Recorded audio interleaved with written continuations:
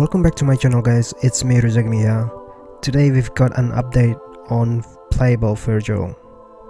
So we got the camera fix and target lock and etc. A really big thanks to Raz0r and Dante for creating the amazing trainer so we can play Vergil. And also thanks to Evil MaginaKuma for creating the amazing topless Vergil. So, without further ado, let's play shall we?